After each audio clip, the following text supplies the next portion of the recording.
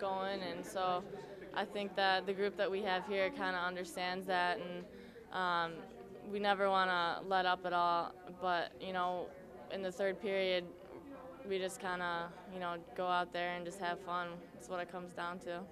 Is there is there any kind of a sense that you know you, you know obviously you don't want to let up, you, you don't want to develop bad habits, but at the same time you, you really don't want to show anybody up. Is, is that ever entering your mind? Oh, definitely. I mean, um, we know that the teams that we're playing come out and they've been training hard all year, and so um, nobody likes to be on the losing end of things. But um, I think as long as as we keep getting better, it's going to make the other teams get better too. And um, I think any game comes down who wants it more and who's prepared, and you know who puts their foot on the gas first. So. Obviously, you're here with a single-minded focus, which is to win another another gold medal.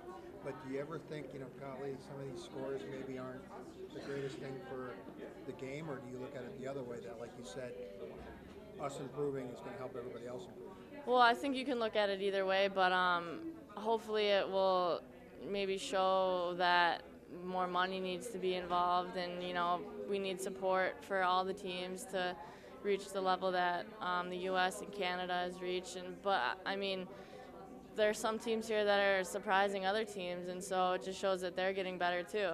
Absolutely.